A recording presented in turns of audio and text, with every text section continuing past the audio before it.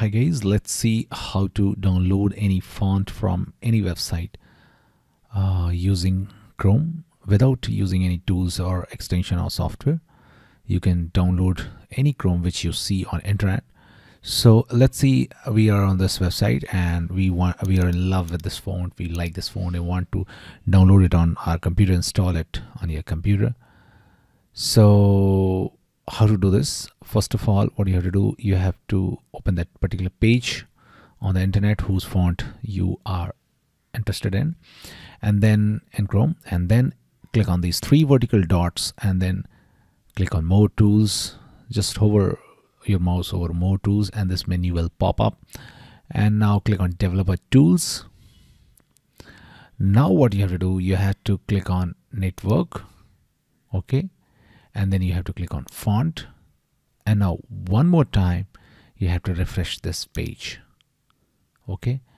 And when you will refresh this page all the fonts which have been used on this page will appear here. Okay? With this extension. Now what you have to do you have to right click okay? Open this a new tab.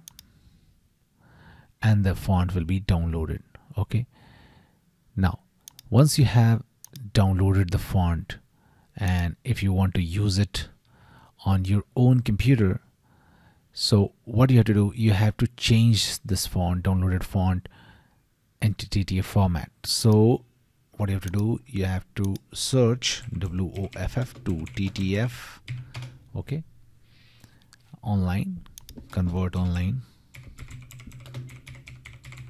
okay and now here just select the particular file which you have just downloaded here on your computer.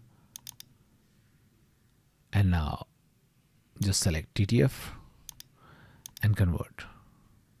Okay? And this will get converted. Now you have just converted it. Now click on this particular file. Click on install to install it on your computer. So that's it. Uh, this is how you can uh, download and install any font um, without using an extension on Windows computer. That's it guys. Please do like the video